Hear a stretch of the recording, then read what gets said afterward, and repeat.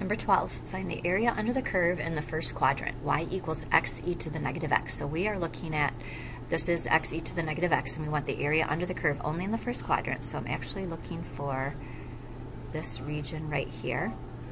And if I'm looking for an area, we know the area is an integral. It's going to go from an x value of 0, and then notice this one, it just keeps going and going and going, and so it actually doesn't ever hit, so we're going to have it approach infinity and then the curve that I'm looking at is x e to the negative x dx. Okay, now from here this is an improper integral because we can't actually plug in infinity, so we are going to change this to the limit.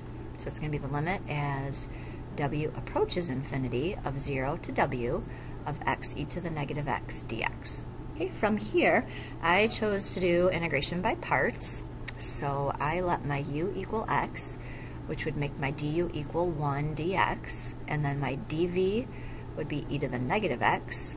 The integral of that would be negative e to the negative x. Actually, that included the dx. All right, so if I do integration by parts now, I'll have uv, so I'll have negative x e to the negative x minus the integral of v du, and I notice that v is negative, so it's going to turn this answer out front to a positive e to the negative x dx. Okay, now I can take the integral of that second part, so I'm going to have negative x e to the negative x.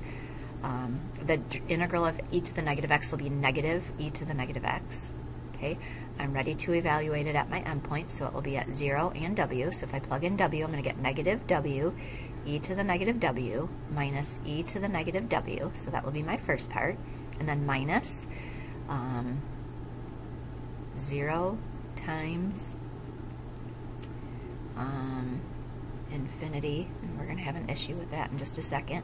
If I plug in 0 in here, e to the 0 is just going to be 1, so this is going to be minus 1. Okay, my problem is right here because 0 times infinity is an indeterminate form, so we are not allowed to do that.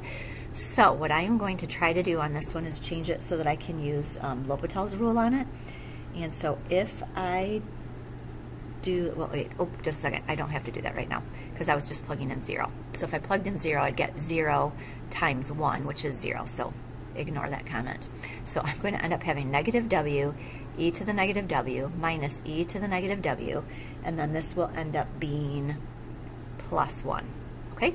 So now from here, we want to take this and we're trying to find the limit as w approaches infinity. Okay, so if we let w approach infinity, now here's where the discussion is going to come into play. This would end up being negative infinity times 0, but that is an indeterminate form, so we cannot do that. So to find this limit, we're going to try to use L'Hopital's rule on it, but notice it's not a fraction.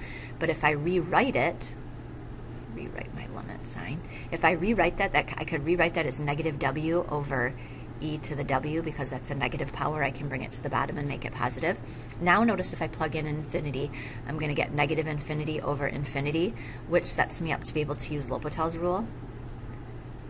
So now if I take the derivative of the numerator, I'll get negative 1 over the derivative of e to the w is just e to the w. Now if I plug in infinity, I'm going to get 0. So that answer will be, that whole answer will be 0. Okay, and we still had minus e to the negative w, which I've done nothing with. If I plug infinity in here, e to the negative infinity will approach 0, so that one will just be minus 0. So this whole limit was just 0. So I ended up getting 0. Don't forget that we have this plus 1 hanging out here, so the 0 plus 1 will be 1. So the area under that curve is 1.